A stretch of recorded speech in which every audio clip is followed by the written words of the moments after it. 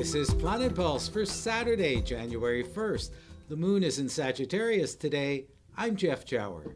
And I'm Rick Levine. The moon in Sagittarius by itself is a statement of upbeat energy. It's a statement of wanting to, to, to look at the horizon and push out past it. And, you know, for the new year, for the first day of the year, that's kind of a good way to start it all. Absolutely. Sagittarius is a sign of, of far-sightedness, of long-range vision. And not only does the moon in Sagittarius lift our moods and eh, broaden our horizons, as you said, Rick, but we have Jupiter, Sagittarius' expansive Kia ruling planet, that's going to be joining exciting electric Uranus in three days. There is a rumble of newness and freshness and adventure that's kicking off the new year. Yeah, and in a way, that Jupiter Uranus conjunction, these are slow moving outer planets. Jupiter and Uranus lined up last May, June. They did again last fall in September, October. And now for the third and final time, time